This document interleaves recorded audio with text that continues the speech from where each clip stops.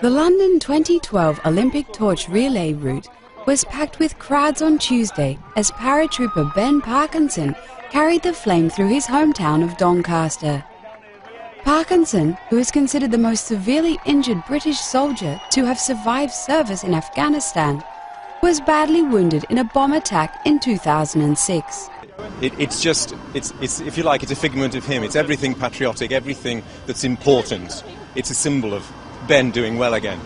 Shepherd helped support Parkinson, who walked the 300 metre portion of the Olympic torch relay on two prosthetic legs.